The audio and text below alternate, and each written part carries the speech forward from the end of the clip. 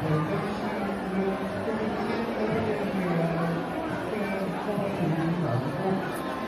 연구 부탁드리겠습니다. 이제 일반에서 청년이 되는 모르겠네요.